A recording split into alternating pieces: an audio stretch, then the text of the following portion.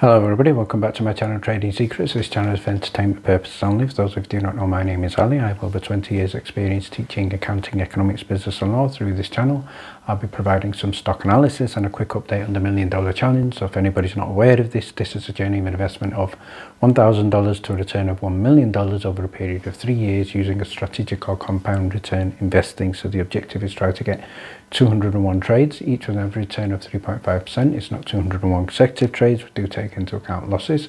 So for further details about how to join us for less than $9 a month, information is available in the description below. In today's video, we're going to be looking at news with regard to the SEC and charges against short sellers for securities fraud and market manipulation. And we're also going to be looking at MMTLP and news with regard to broker dealers who were confirmed to be able to and willing to pay over $24,000 per share in terms of a, a, proven reminder of what would have happened. And then we're going to be looking at ticker symbol SERV, which was also featured in the previous video and a number of other previous videos. So before we get started, let's have a look at what's happening in the market. So first headline here, we can see from Reuters, which was at the start of the market, we can see inflation, US inflation data was out earlier and uh, this data boosted global stocks lower overall and also um, uh, treasury yield. So we have a look at the PCE price index year on year. The forecast was 2.5%, the previous figure was 2.6% and the actual figure was 2.5%. So uh, pretty much on uh, target and what I what I've posted here in terms of uh, the Fed's preferred inflation measure it was uh, above expectation. So basically it is a drop of 0.1% so uh, overall inflation is fairly flat. And the question is will the Fed cut interest rates in September? And what we can see here in terms of the closer market from CNBC we can see that stocks have recovered uh, a little bit not too much. Uh, and the Dow Jones closed up 650 points buoyed by more bullish inflation data that we have just seen. Let's have a look at news with regard to the SEC charges and what we can see in terms of the post from Unusual Whales earlier was that the SEC has charged Andrew Left and his firm Citron Capital, which we all know is quite a notorious organisation for engaging in a $20 million scheme to defraud followers by publishing false and misleading statements regarding his supposed stock uh, trading recommendations. So very, very serious allegations there. So reaction here from Charles Payne. He stated Citron have been charged with fraud, but the financial media will only read the headline uh, but not admit how complicit they have been in helping out shorts pound companies with little counterbalance. So um, uh, again, a very, very um, important point made by Charles there, which I think carries a huge amount of truth. And what Roger has posted here is $20 million sounds like small potatoes, and I certainly agree with uh, Roger there. In the grand scheme of things, it looks like what um, the SEC are doing is looking for the goldfish and not the sharks. Uh, and uh, let's have a look at a reaction now from David Lauer and what David Lauer has stated here in a positive post. He stated here, is this the first, this is this first step forward in a true, in truly addressing market abuse. So good recognition there. The SEC and Department of Justice, together with have charged Andrew Left and Citron with civil and criminal charges for securities fraud and market manipulation. And this is a big deal. So again, again I think the SEC uh, look to be taking action against these little organisations and these individual people behind it, such as Andrew Left. And we can see the press release there dated July the 26th, 2024, activist short seller charged with $16 million stock market manipulation scheme. But I believe there are many, many more, much, much bigger than this.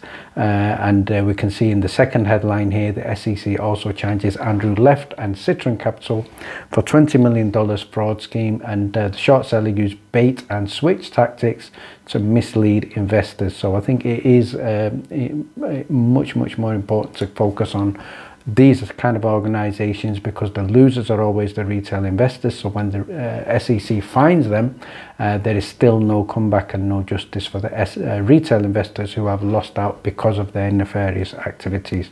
So uh, final reaction from Pocahontas here it states here this is definitely a move in the right direction. I think it needs to be a lot more than this move, though there are several more that deserve jail time. And if the SEC were really serious about regulating and cleaning up the market, they should hand out some uh, more revocation of license noticing. So we, we have other areas that need to be looked at, um, especially from a hedge fund point of view, such as dark pool abuse, spoofing, naked shorting, destroying pensions, ladder attacks, paying off politicians and people in Congress, rerouting orders, gaslighting, retail. So again, uh, some great points here.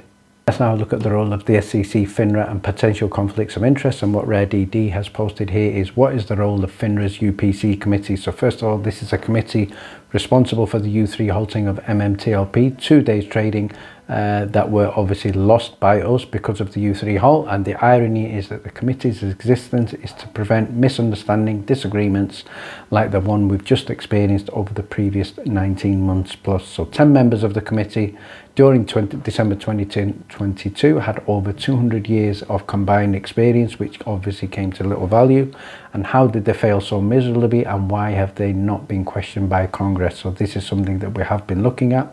And coming back to the SEC why is it that the SEC is yet to address this conflict of interest concerning the firm's exposure to MMTLP short positions so we're talking about the panel, the U3 Halt panel of FINRA, which is the UPC committee, which we which has now been exposed. So, uh, and finally, I'm going to give a shout out here to Quantum, confirming uh, the details of broker dealers who were willing to pay in excess of $24,000 per share. So what Quantum have posted here in terms of a reminder for everyone uh, that the MOASS is not a theory or a meme but a proven fact. Shorts were buying out $3 MMTLP shares for $24,994.02.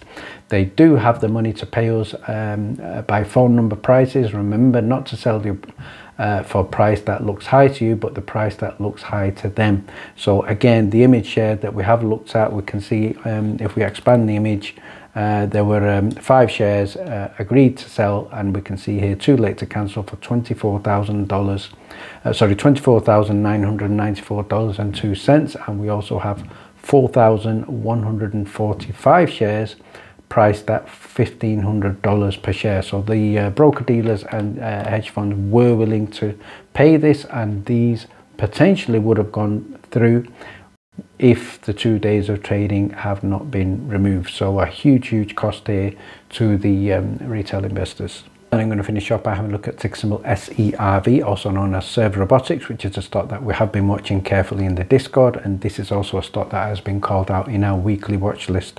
Uh, so uh, if we have a look at the chart for today, we can see again it's up a very healthy 9% today. And at one point it was uh, up in excess of um, $16. There has been a pullback, but Overall, if we have a look at the chart for the previous uh, one month, we can see it is up a staggering $626.37 and uh, just around about uh, the 1st of July, we can see it was trading uh, less than $2.50. So uh, what has been the news? So this is also a stock that again um, was covered in the previous video. So go ahead and check out yesterday's video and a number of other previous videos where we have been looking at um, um, SERV and the news that we have been sharing in the Discord Discord and also broken live in the Discord was with regards to Nvidia's ownership. So this is the key reason why the uh, stock has been going up and at one point it was up 233% immediately. And uh, the question is should you buy this stock? It is a high risk stock in my opinion. It's also a stock that you should potentially protect profits in and take profits in where you can. Uh, so if anybody would like to get more breaking news of other stocks and get access to our weekly watch list as well as our daily stock alerts Details are in description below. Thank you very much for watching. Please stay tuned.